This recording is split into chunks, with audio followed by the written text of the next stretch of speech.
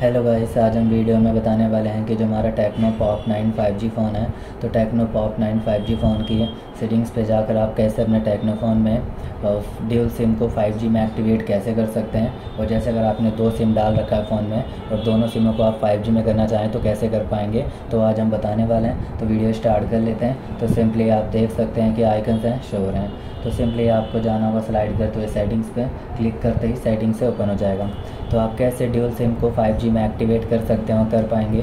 Simply आप देख सकते हैं कि आपको सिम एंड नेटवर्क सेटिंग्स पे जाना है, फिर आपको simply Jio true five G पे जाना है। जहाँ से ऑप्शन आता है प्रीपेड नेटवर्क जिसको आपको 5G पे एक्टिवेट करना है, जिससे 5G नेटवर्क शो करेंगे और आप वॉल्टी 5G को ऑन कर देंगे तो वॉल्टी नेटवर्क भी 5G में आपके फ़ोन पे शो करेंगे। तो इस तरीके से आप सिम वन को 5G में एक्टिवेट कर सकते हैं। चाहे तो आप सिम टू पे जाकर इस तरीके से आप 5G में एक्टिवेट कर पाएँगे और ड्यूल सिम को 5G में चला सकते हैं। तो इस तरीके से ड्यूल सिम 5G में कर सकते हैं। तो आपको वीडियो अच्छी लगी तो लाइक एंड सब्सक्राइब करें। तो मिलते हैं अगली वीडियो में।